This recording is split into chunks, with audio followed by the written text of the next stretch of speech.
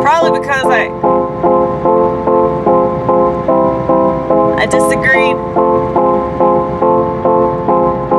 with how they doth interpret scripture.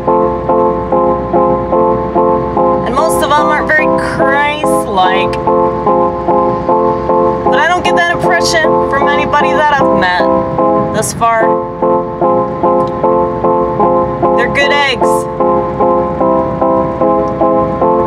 Most of the church, bad eggs, rotten eggs, spoiled eggs. And if they don't rape kids literally, they do it figuratively or metaphorically. And everybody knows they're doing it politically and through the education system. That's why you shouldn't trust the system.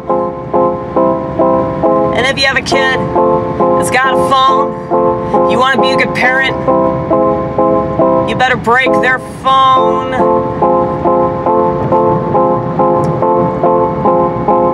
They will probably try to kill you though if you do that.